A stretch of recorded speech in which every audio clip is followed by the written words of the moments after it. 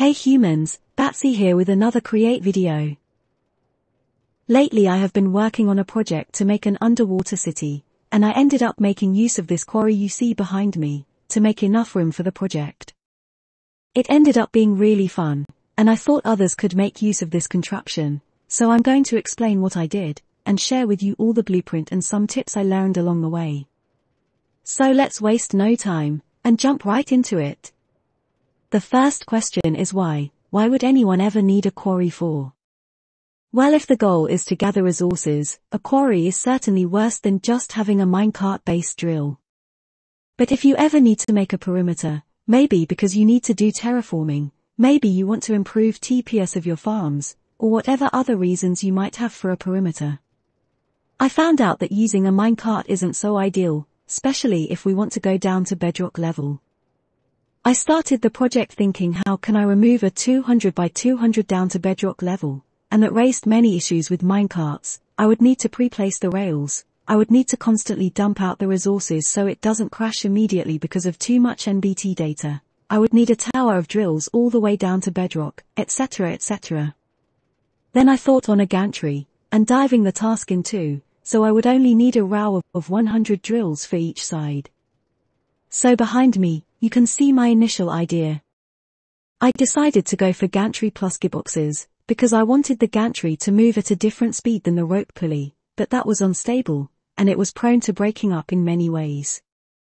So I ended up using the gantry mechanics instead. The way it works is the following. A rotating gantry shaft will move the gantry contraption along the shaft so long as it's not powered up. The moment we power up the gantry shaft, it will stop, and instead, the gantry will take its rotational power into the contraption. With that idea, we're going to power up the rope pulley to drill downwards. This also means that we're gonna need to reverse the rotation so it eventually comes back up too. For that we're gonna make use of a gear shift, some links and pulse emitters.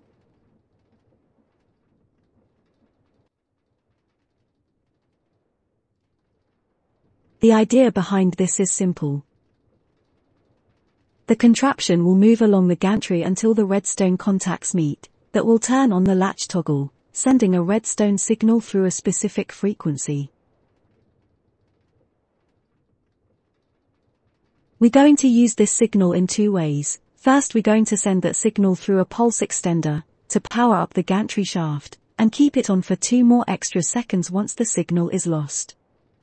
We also going to use a pulse repeater, to send one single pulse into another extender, this way we're going to power up the gear shift only for the duration we want. For my underwater pit, I ended up using 6 minutes, you can adjust this to your needs. So to wrap up everything and give you a demonstration. This gantry is going to move our contraption along the shaft until the redstone contacts touch. At that moment it's going to send a signal to power the gantry, and the gear shift, making the rope pulley to work for the duration we want. Once the rope pulley is done digging, it will come back up, the redstone contact will turn off the latch toggle, powering off the gantry so it can move again to the next section. This is going to repeat until the end of the quarry. One last detail is this fire behind me. Because this is going to mine everything, you're gonna end up with millions of stones, and those are already easy enough to produce with a cobble generator so I decided to burn them all in order to reduce the storage size. You can adjust the filters to your needs. I hope this blueprint is useful for you, and hopefully you learned something along the way. As always leave a comment if you have any doubt, and don't forget to subscribe for more, it will really mean the world to me.